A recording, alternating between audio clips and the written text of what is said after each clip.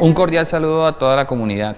Eh, el tema a tratar el día de hoy es hablar sobre la disminución de ocupación de camas de unidades de cuidados intensivos en nuestra institución. Gracias a todas las medidas utilizadas actualmente, esencialmente el tema de la vacunación. ¿sí? Ha sido un tema muy bien tolerado a nivel de la comunidad, pero extiendo un mensaje para que no nos neguemos a, dichas vacunas.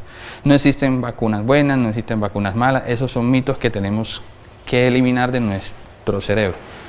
Todas las vacunas funcionan. Actualmente todas tienen un gran porcentaje de prevención de, de enfermedades de casos graves. Por eso vemos a nivel de la institución la disminución casi que total de la ocupación de unidades de cuidados intensivos, gracias a esa gran aceptación a las medidas indicadas pero este no es el final.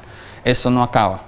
Necesitamos que sigamos implementando todas las medidas actualmente y seguir insistiendo en la vacunación, dado que existen nuevas variantes. En ese momento está la variante Delta ya en nuestro país, que pueden y van a aumentar los casos de contagio y letalidad, según los últimos estudios. Por eso no podemos bajar la guardia, seguir insistiendo en vacunarnos, usar tapabocas, lavado de manos, distanciamiento social y si somos sintomáticos respiratorios, aislarnos en nuestras casas, tomar conciencia. Actualmente la importancia de todas las medidas de bioseguridad más la vacunación hace de que todas estas nuevas variantes de los virus disminuyan y no se creen.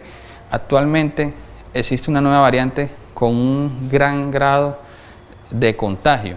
Todo eso es debido a todas las personas que no cumplen con sus medidas de bioseguridad, distanciamiento, tapaboca, lavado de manos y le han dicho no a la vacunación.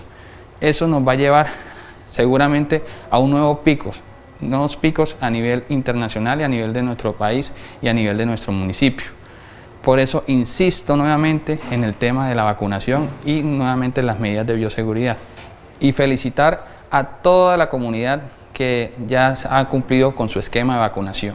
Gracias a esa gran aceptación que debemos tener y tenemos hoy en día y debemos multiplicar, vemos los resultados a nivel institucional de disminución de muertes por COVID-19 y hospitalización de casos moderados.